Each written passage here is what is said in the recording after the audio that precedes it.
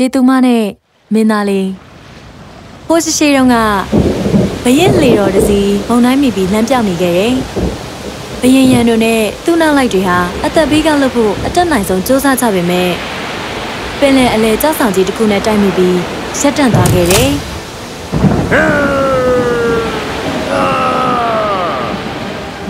မကြခင်မှာပဲလေးဟာပိုးထန်လာပြီးရေတွေလည်းတက်လာပါတော့တယ်။ တင်မောသားတွေနဲ့နောက်လိုက်တွေလည်းတအားကိုကြောက်ပြီးဖျားစာတွေလျှော့ဖျားတနေကြတော့တယ်။အာကျေးဇူးပြုပြီးဒီဒုက္ခတွေကနေကဲတော်မူပါမုံတိုင်းကြီးတဲ့ကနေလွတ်မြောက်ပါစေလိုင်းလုံးကြီးတစ်ခုရဲ့အပေါ်ကနေရေသူမလေးတယောက်ပေါ်လာတာပေါ့။အိုးကြီးမြတ်တဲ့ဘရင်မင်းမြတ်ဒီလိုမျိုးဆိုးရွားလာတဲ့အချိန်ခါမျိုးမှတွေ့ရတာတကယ်ကိုစိတ်မကောင်းပါဘူးရှင်။ တင်းနဲ့တင်းလေတော့လွတ်မြောက်အောင်လုပ်ပေးပါမယ်။ဘရင်ကြီးအတွက်တော့မျောလင့်ချက်ရှိသွားတာပေါ့။ဒါပေမဲ့အလကားတော့မဟုတ်ဘူးနော်။တခုတော့ဂရိပေးရမယ်။တင်းရဲ့ပထမအဆုံးမွေးတဲ့ကလေးကိုတော့ပေးပါမယ်လို့ဘရင်ရန်တို့ဟာတားတော်လေးကိုချီပွေထားခြင်းပေမဲ့အခုတော့အမွေကန်သားလေးကိုစုံလို့ရတော့မှာမို့မျက်ရည်တွေစုလာတော့တယ်။သူ့နောက်လိုက်ငယ်သားတွေရဲ့သွေးပြက်နေတဲ့မျက်နှာတွေကိုမြင်လိုက်ရတော့ရေသူမလေးရဲ့အပေးအယူကိုလက်ခံခဲ့တယ်ကောင်းပါပြီ ငါသဘောတူတယ်။အခုလိုလက်ခံပေးလိုက်တာနဲ့လှိုင်းလုံးကြီးတစ်ခုဟာလေကိုကြောက်တောင်ကြားရကနေပုတ်ထုတ်ပြီးပင်လယ်ပြင်ထဲကိုဆွဲခေါ်သွားခဲ့တယ်။လာများမကြခင်မှာပဲမိဖုရားကြီးဟာတားတော်လေးတစ်ပါးဖွားမြင်ခဲ့တယ်။ဘရင်ကြီးဟာရေသူမလေးကိုပေးခဲ့တဲ့ဂရီကိုမေ့လျော့သွားခဲ့တာပေါ့။တဲကိုတီကြီးခန့်ကြတဲ့ကလေးပဲငါကိုတော့သူ့ကိုမင်းသားအေရိုးလို့နာမည်ပေးမယ် မင်းသားလေးအေရွန်ဟာတီကြီးခံကြပြီးစက်တည်ရှိတဲ့မင်းသားလေးအဖြစ်ကြီးထွားလာတယ်။တိတ်မကြခင်မှာပဲဘရင်ရန်တို့ဟာသူ့ပေးခဲ့တဲ့ကတိကိုပြန်သတိရလာတယ်ငါတို့သားတော်လေးကပညာတွေလည်းတက်မြောက်နေပြီငါတို့သူ့ကိုလောကကြီးတဲ့ကိုလွတ်လိုက်တင်ပြီသူ့ကိုနန်းတော်ထဲမှာပဲထားမယ်ဆိုရင်ဒါဟာယူသွမှုတစ်ခုပဲဘာလို့လဲဆိုတော့ဂျေသူမလေးကနန်းတော်ကိုပထမဆုံးလာရှာမှာ။မင်းကြီးရဲ့သဘောအတိုင်းပါပဲ။မင်းသားလေးအေရွန်ကိုစင့်ခေါ်ပြီးအားလုံးကိုပြောပြလိုက်တယ်။ မင်းသားလေးဟာကဘာအနှံ့ခရီးသွားရမှာမို့တိတ်ကိုပျော်သွားတာပေါ့။ခမဲတော်ခမဲတော်ပေးတဲ့အကြံကိုတားတော်လက်ခံပါတယ်ခရီးထွက်ဖို့တခါလဲပြင်ဆင်ပေးပါကောင်းကြီးလဲပေးပါသူမိဘကိုနှုတ်ဆက်ပြီးသူ့ရဲ့ခရီးစဉ်ကိုစတင်ခဲ့တယ်။မင်းသားလေးဟာတနေ့လုံးကွေးကောက်နေတဲ့လမ်းနဲ့တုံးငယ်လေးတစ်ခုကိုဖျက်ကျော်ခဲ့တယ်။ငှက်ကလေးနဲ့ရှင့်ကလေးတွေကိုအဖော်ပြရတာကိုပြောနေတယ်။မကြခင်မှာပဲသူဟာမောပန်းလာတယ်ငါလဲတော်တော်မောနေပြီပဲ နားဟုတ်တနေရာရှာပြီးငါညစာကိုစားရမယ်။ကျော်တခင်းစာနေရရှာတွေ့တာနဲ့မိုးချင်းတန်ကိုကြားလိုက်ရတော့တာပေါ့အမလေး။မင်းသားလေးဟာကြောက်ရွံ့နေခဲ့တယ်။သူ့ရှိမှာပဲရှင်သေးကောင်ဘုံဝုံကိုလုံးနဲ့ဝေးရဆုံးကအတောင်ပံနဲ့တတဝါကြီးတစ်ကောင်ရှက်နေတယ်။ကောင်းလေးမင်းဒီမှာဘာလုပ်နေတာလဲကျွန်တော်ရေသူမလေးစီကနေလွတ်ဖို့ပြေးလာတာပါ ငါကတော့တခုခုစားဖို့ရမလားဆိုပြီးရှာနေတာကျွန်တော်မှစားဖို့ပါပါတယ်ကျွန်တော်အစားအစာတွေပေးပါမယ်ကဲဒါဆိုလဲငါ့ကိုပြီးတော့ငါညာသာစားချိန်လွန်သွားလို့အခုတော့ငါတော်တော်ကိုဗိုက်ဆန်နေပြီမင်းသားလေးအေရွန်ဟာသူ့လွယ်အိတ်ထဲမှာပါတဲ့ပေါင်မုံနဲ့တစ်တိအချုပ်ကိုတရဝါကြီးကိုပေးလိုက်တယ်။တရဝါကြီးဟာတလုတ်ထဲနဲ့အားလုံးကိုစားပြစ်လိုက်တယ် ဒါအရန်အရန်ကိုရတာရှိတာပဲအဲ့ဒါကျွန်တော်မဟုတ်လို့တော်သေးတာပေါ့ဗျာမင်းရဲ့ရတာပဲငါမင်းကိုလက်ဆောင်ပြန်ပေးလိုက်မယ်ဒီမှာငါအတောင်မှန်ကအမွေးကိုယူသွားမင်းရဲ့အိတ်ကထဲထဲထားပြီးတော့မင်းဆန္ဒရှိတဲ့အချိန်ခွန်အားကြီးတဲ့အချိန်တွေကြီးလားဘုံဘုံကြီးလားပေါ်ပါတဲ့ငှက်ကလေးလားချက်ချင်းပုံစံပြောင်းလိုက်လို့ရတယ်။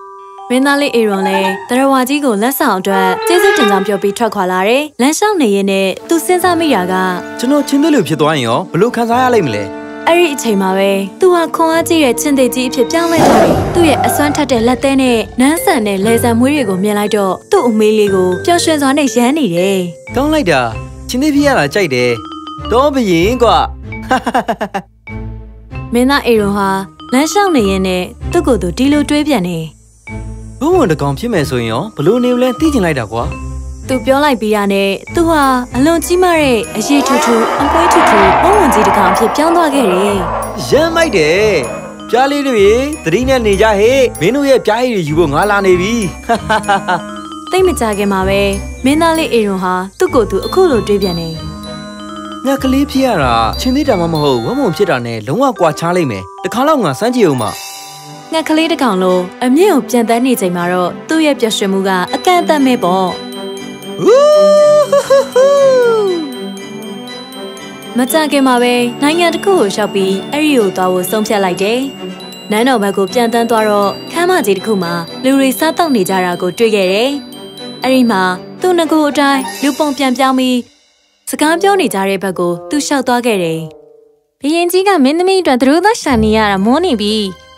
ကမ္ဘာပေါ်မှာခန့်ညားတဲ့မင်းသားတွေရဲ့ပုံတွေကိုတန်းစီပေးထားပေမဲ့မင်းသမီးလေးကဘသူ့မှမကြိုက်ဘူးဘလို့လုပ်ပြီးအမွေဆက်ခံသူကိုပေးနိုင်မလဲမသိဘူး။ကျမသာသူ့နေရာမှာဆိုမင်းသမီးလေးကိုလက်ထပ်ပြရစီလို့ပထမအဆုံးပြောတဲ့မင်းသားကိုပဲလက်ထပ်လိုက်မှာ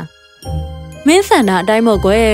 ။အပြိုတော်လေးတွေတယောက်တစ်ပေါက်ဆက်ပြောနေပေမဲ့မင်းသားလေးအေရွန်ဟာဆက်ပြီးနားမထောင်တော့ဘူးပေါ့။မင်းသားလေးကငှက်ကလေးလိုပြောင်းပြီးမင်းသမီးလေးကိုရှာဖို့ထွက်လာခဲ့တယ်။မင်းသားလေးဟာရဲရိုက်စီကိုပြန်သွားပြီး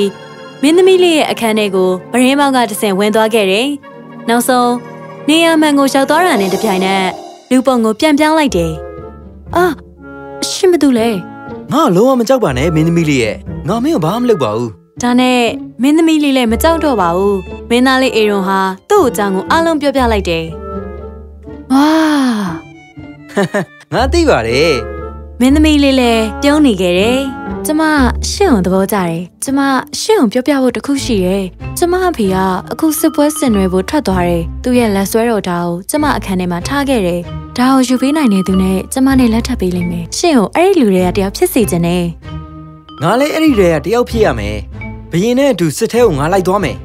။ကျမရှင့်ကိုစောင့်နေပါမယ်။မင်းသားလေးအေရွန်ဟာဘရင်တက်မတော်တွေကိုဝင်ပြီးစစ်ထွက်သွားတယ်။ မင်းသမီးလေးသူ့ကိုကြိုပြောပြထားသလိုတောင်းရက်ပြီးတော့စစ်တိုက်ဖို့သူတို့ချီတက်နေခဲ့ကြပါပြီ။မြို့တော်နဲ့အတော်ဝေးဝေးကိုသူတို့ရောက်သွားကြပြီ။အဲ့ဒီအချိန်မှာဘရင်ကြီးကတုတ်တာကိုမေးခဲ့တယ်ဆိုတဲ့အကြောင်းပြောလာခဲ့တယ်။ရဲမက်တွေကသူတို့ရဲ့ဓာတ်ကိုပေးကြပေမဲ့ဘရင်ကြီးကလက်မခံခဲ့ဘူး။ငါဓာမဟုတ်ဖဲနဲ့ငါဘယ်ဓာနဲ့မှတိုက်ပွဲမဝင်ဘူးငါသမီးလေးရဲ့အခန်းထဲကဓာကိုပထမဆုံးယူပြီးငါ့ကိုဆက်သားနိုင်တဲ့သူကိုသမီးနဲ့ပေးစားတဲ့အပြင်ငါမရှိတော့တဲ့နောက်နိုင်ငံကိုလည်းအုပ်ချုပ်မင်းလုပ်ရမယ် အဲ့ဒီမှာရှိတဲ့သူရဲကောင်းတွေဟာမြို့တော်ဘက်ကိုပြန်လှည့်ကြတယ်။အဲ့ဒီထဲမှာစိတ်ထားမကောင်းရှုံးမှပြီးကောက်ချစ်စင်လဲတဲ့သူရဲကောင်းတွေလည်းပါတယ်။သူတို့အားလုံးကစုံဆိုင်သွားနေတော့မင်းသားအေရွန်ကအကောင်းဆုံးအစီအစဉ်ဆွဲနေတယ်။တခြားသူတွေကိုဖျက်ကျော်စေခဲ့ပြီးချင်းသိပ်အသွင်ပြောင်းကျေလောင်စွာဟိန်းဟောက်လိုက်တယ်။သူ့ရဲ့ဟိန်းဟောက်အတန်ကြောင့်တခြားသူရဲကောင်းတွေရဲ့မြင်းတွေဟာထိမ့်မနိုင်သိမ်းမရဖြစ်သွားတဲ့အချိန်မှာမင်းသားလေးအေရွန်ကတော့ရဲရိုက်စီကိုတန်ပြီးပြေးသွားခဲ့တယ်။ ရဲရိုက်စီကိုရှောက်သွားတော့ငှက်အသွင်ပြောင်းပြီးမင်းသမီးလေးရဲ့ဗရင်မောက်စီကိုဓာတ်ရိုက်ပြန်တန်းသွားတယ်ဓာယူဖို့အတွက်ကိုရောက်လာပြီကိုယ့်ရဲ့နံပါတ်တော်လေးရေ။အော်အေရောရှင်လုံးနိုင်ခဲ့ပြီပဲ။ဒီမှာအဖေရဲ့လက်ဆွဲတော်ထားပြန်သွားပြီးစစ်ကိုနိုင်အောင်တိုက်ပါပြီးတော့နှမတော်စီပြန်လာပါနော်အရှင်သမီးတော်ရဲ့အမိန်တော်အတိုင်းပါဒါပေမဲ့မှတ်ထားပေးဖို့တခုကမောင်တော်တစ်ခုခုကြောင့်ပြန်မလာနိုင်ခဲ့ဘူးဆိုရင်မောင်တော်ထောင်ချောက်မိနေပြီပဲ အဲ့လိုဖြစ်ရင်ဖင်လန်ကန်းစားကိုသွားပြီးတချင်းဆိုပေးပါနံပါတ်တော်ရဲ့အတန်ကမောင်တော်ကိုလမ်းပြပေးလိမ့်မယ်။မင်းသမီးလေးဟာကောင်းကျိန်ခဲ့ပြီးသူ့ရဲ့တော်ဝဲလက်စွပ်တစ်ချမ်းကိုပေးလိုက်တယ်။မင်းသားလေးဟာမင်းသမီးလေးရဲ့လက်ကိုနမ်းပြီးဗရင်မောက်ကနေပြန်ထွက်သွားခဲ့တယ်။အချိန်အတော်ကြာပြန်တန်းသွားပြီးတော့မင်းသားလေးအေရွန်ဟာရေးစားလာတာကြောင့်အနီးနားမှာရှိတဲ့စမ်းချောင်းလေးမှာနာဖို့ဆုံးဖြတ်လိုက်တယ်။ဒါပေမဲ့သူမသိလိုက်တဲ့အချိန်မှာပဲရေသူမဟာသူ့နာကိုရှောက်လာခဲ့တယ်။ရေတောင်းဖို့ဒူးထောက်လိုက်တဲ့အချိန် ရေသူမဟာရေလိုင်းနဲ့သူ့ကိုဖမ်းသွားပြီးသူတို့နှစ်ယောက်လုံးရေရောက်ထဲပြောက်ကွယ်သွားခဲ့တယ်။တိတ်မကြခင်မှာပဲသူ့ရဲကောင်းကြီးဟာရေတောင်းဖို့စမ်းချောင်းလေးနားမှာနာဖို့ဆုံးဖြတ်လိုက်တယ်။စမ်းချောင်းကန်းနှစ်ဖူးမှာဓာတ်ကိုတွေးလိုက်ရတော့အတော်ကျဉ်းနဲ့သွားတာပေါ့ဝေါဒီနေ့ကငါရဲ့ကံကောင်းတဲ့နေ့ကလေးပဲချက်ချင်းမဲ့ဓာတ်ကိုယူပြီးဘရင်ကြီးစီကိုပြန်သွားပြီးဆက်တာလိုက်တော့တယ်။ စစ်ပွဲပြီးတဲ့နောက်ဘရင်ကြီးကိုသူ့ပြည်သူတွေကအောင်ပွဲဆင်နွှဲပြီးဝမ်းမြောက်စွာကြိုဆိုကြတာပေါ့။ဒါပေမဲ့မင်းသားလေးအေရွန်ကတော့ဘရင်ကြီးရဲ့နောက်မှာမပါလာတာကိုမင်းသမီးလေးသိလိုက်တော့နှလုံးသားကြေကွဲတော့တာပေါ့။သူရဲကောင်းကြီးကစစ်ပွဲမှာတကယ်ကိုတက်တိရှိရှိတိုက်ခိုက်ခဲ့တယ်လို့ငါရဲ့လက်ဆွဲတော်ဓာကိုလည်းတိုက်ပွဲမစားခင်ယူဆောင်လာပေးတယ်ငါကိုတော့ဂရီပေးထားတဲ့အတိုင်းပဲသမီးတော်နဲ့အနက်ဖြန်ပဲလက်ထပ်ထိမ်းမြပေးမယ် နန်းတော်ထဲမှာရှိတဲ့သူတွေအားလုံးလည်းတယုံယုံဖြစ်သွားခဲ့တော့တယ်ယေးဝိုးဟူးဟူးယေး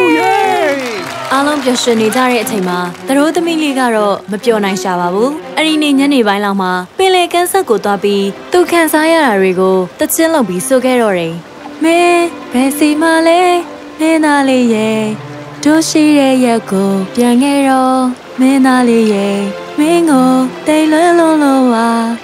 နှလုံးသားအလန်းဆွဆုံကမင်းပါပဲမင်းသားလေးရဲ့ရှင်းတဲ့ထဲမှာတော့ရှေသူမဟာမင်းသားလေးကိုပင်လယ်ရင်ညှိတွေကြားချုပ်ထားခဲ့တယ်မင်းသမီးလေးရဲ့တချင်းတန်ကိုကြားရောသူကနောက်တောင်စမ်းမအောင်မင်းအချက်ကမင်းအတွက်တချင်းတွေဆိုလို့ကျွန်တော်တော့ဘာမှမကြားမိပါဘူးအာငါတို့ကြားရတယ် ငါတို့ရှေသူမတွေဟာရှင်မျက်နှာပြင်မှာဘာတွေဖြစ်နေလဲဆိုတာအားလုံးသိတယ်ဒါကတော့ဘယ်နည်းနဲ့မှမဖြစ်နိုင်ဘူးကျွန်တော်ခမပြောတာမယုံငါတို့ရှေသူမတွေရှင်မျက်နှာပြင်မှာမှာဖြစ်သမျှအားလုံးကိုသိတယ်ဆိုတာမင်းမယုံဘူးပေါ့ဟင်းအင်းအပေါ်မှာတယောက်ယောက်တချင်းစုံနေတယ်ဆိုတာလည်းမယုံဘူးဗျာခင်ဗျားကျွန်တော်ကိုစကားပြောချင်လို့တမင်ဖန်တီးနေကြမလားအာငါမင်းကိုတတ်သိပြမယ်တကယ်လူသားအယူကောင်ပဲ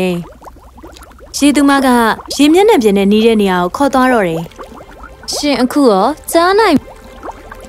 မကြားပါဘူးရေစည်းတန်တွေကလွယ်ပြီးဘာမှမကြားရပါဘူးရှေသူမဟာပိုပိမြင့်တဲ့နေရာကိုခေါ်သွားခဲ့တယ်အခုရောဘလို့လဲဟင်း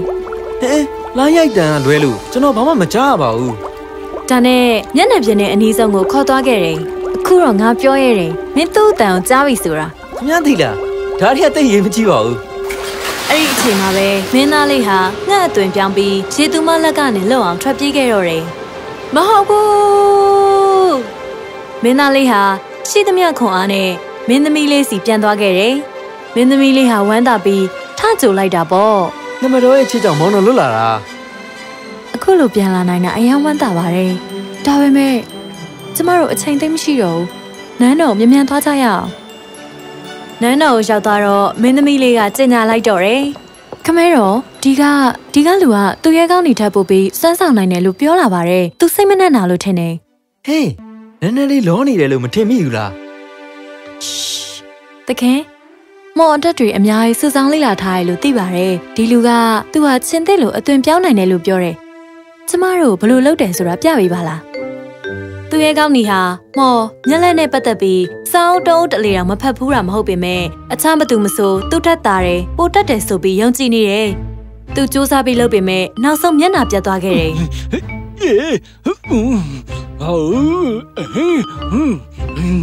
ဟုတ်အမလီကြည့်ရတာစိတ်မသက်သာစရာပဲချင်းသေးလို့လုပ်ဖို့တိတ်ခတ်နေရင်တော့ဝုံဝုံတစ်ကောင်လိုမျိုးလုပ်ကြည့်ပါလားသူရဲ့ကောင်းနီဟာအစွမ်းကုန်စူးစမ်းပြီးလုပ်ကြည့်ပေမဲ့မရခဲ့ပါဘူးတိတ်ကြီးတာတွေနဲ့စူးစမ်းပြီးလုပ်လို့ဖြစ်လိမ့်မယ်ကျမတို့တွေတိတိလေးကနေစပြီးတော့လုပ်ကြည့်ရင်ငေါငှက်တစ်ကောင်လိုမျိုးလုပ်ပြကြည့်ပါလားတကယ်တော့ကျွန်တော်ကျွန်တော်က ရှင်ရောတကယ်ပဲချင်းသေးလိုမျိုးပြောင်းနိုင်လားမင်းသမီးလေးပြောလိုက်ပြီးတာနဲ့မင်းသားလေးဟာသူ့ကိုယ်သူချင်းသေးအသွင်ပြောင်းပြီးသူ့အစွမ်းရှိသလောက်ဟိန်းဟောက်လိုက်တယ်နန်းတော်ထဲမှာရှိသမျှလူတွေအားလုံးတုံလုံးချောက်ချခဲ့ပေမဲ့ဘရင်ကြီးကတော့မကြောက်ခဲ့ဘူးပေါ့ဝုံဝန်ကြီးတကောင်ဆိုရင်ရောအခုကချင်းသေးနေရမှာဝုံဝန်ကြီးတကောင်ရှက်လို့ပေါ့ပြီးတော့နောက်ဆုံးတစ်ခါညကလေးဆိုရင်ရောလျှက်တစ်ပြက်အတွင်းမှာပဲဝုံဝန်ကြီးဟာအလွန်သိငယ်တဲ့ဝိစုံငှက်အဖြစ်ပြောင်းသွားရော